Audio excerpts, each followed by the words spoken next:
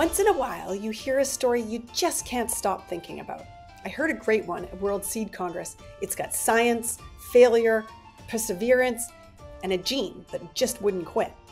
So, I pulled the man with the story in front of a camera so you can hear it too. This one's worth a listen. So, back in 2010, 2010, okay, uh, researcher patented a new gene for sweet corn, the intermediary gene. Yeah, Okay. SH2I. known at, known very well in corn breeding circles, but maybe not quite as much by the whole corn industry. Am I right? That is very correct. Okay.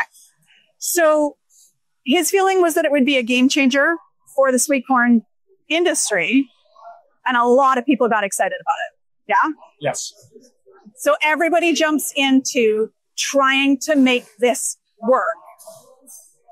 What happens? It failed in the market. A lot of companies like ourselves, we failed as well. Okay. There was one company that jumped out ahead of everybody else and moved really too quick. Okay. And it failed in the market. Okay. So fail, fail, fail. Like fail, this. fail, fail. So, so all of the promise of this gene, fail, fail, fail, didn't work at all. Correct. And so the marketplace says, that's a dud. We'll move on. You guys don't say that. You say, but we think there's something there. Yes. So you keep working on it. And am I correct in saying you yourself put a decade into this? And then one of your colleagues at your company put another decade into it. Correct. And in fact, the gene does have the promise that that researcher hoped. Yes. Okay. So what was the issue that it was fail, fail, fail, and then suddenly you hit success? What did it take? So we had to put it in the right genetic background. We're just not comparing it or uh, putting it with another gene. It's a series of genes. And once we figured that out, we realized that we had the right genetics to move forward with it. But there was another hurdle ahead. The marketplace remembered the SH2I gene's early failure and had such a poor impression of it that it wasn't marketable, despite all the benefits. When we started coming out with product, our first one was a variety called Nirvana. We kept it secret for about five, six years because it still had a bad image out there with uh, the seed dealers we work with and the farmers we work with. Over the next few years, several of their most popular varieties happened to be varieties that quietly included that SH2I gene. Finally, having collected piles of evidence of the gene's success, they started telling customers. And when growers or dealers said, you know, we've been through this I gene, it doesn't work. Why are you taking us down this path? And our response was quite simple. And that was, you love the variety Nirvana. Oh, yes. The I gene's in Nirvana. What?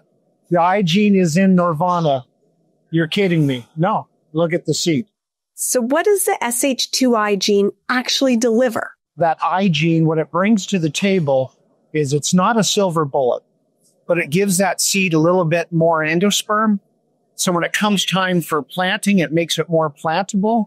When it comes time for emergence in cold soils and uniformity, it has a great benefit there as well too. It's not a silver bullet, but in the seed industry, uh, every little bit helps. So if we can take you from a seven and a half to a to a nine on the scale of 10, that's an improvement. Uh, huge improvement. Correct. Okay, so take me back to the the moment when you you've put in all this work, your colleague has put in all this work, and you realize it actually works. Yes. What was that like? Yeah, that's a hard emotion to capture. It was very exciting. It would be very exciting. Uh, we, when we first took a bite of it, we went, okay, the quality's there. In fact, it exceeds the quality than we, uh, we anticipate. But then knowing how the I gene works, we said, now is it going to hold in the field? Because that was the problem with the I gene. Right. So we kept coming back. We kept coming back, you know, day after day after day. And then we learned that it actually kept longer in the field than we anticipated and longer in the field than the non SH2I varieties. So even better than you had actually actually Even- hoped. Yes. Okay. So then the next step is you've got this thing that you know it works and you know that it's not got the best market image. So you have to kind of sit on it for a little while. But how frustrating is that? It was very frustrating, but we loved the, the quality of the Nirvana Yeah. enough that that was a win unto itself. Okay. Okay. Because we improved the quality, not only the seed quality, but the eating quality. Right. So that was enough to itself. But then as we went forward and had proof of concept, you know, we came up with Solstice and Equinox, Nirvana, Eden, and now we got Golden Halo. And then we had a whole series. Then we went, okay, it's time to revisit this SH2I. Right. And it was, it was a little nerve wracking, but as I told you, it's beautiful to be able to come back and go, okay, you love Nirvana. You've loved it for six years. Have you ever had a problem? And the answer is, well, no. Okay. So now that you're rolling it out to, to marketplace and you're rolling it out openly, Yes. what's uptake like? Uh, it was a little unnerving, uh, but here in this last year, sales are up on the SH2I by 40%. 40%. Yeah. All right. and and people are starting to understand its value and they're slowly getting over their concerns of eight years ago Yeah. approximately Yeah.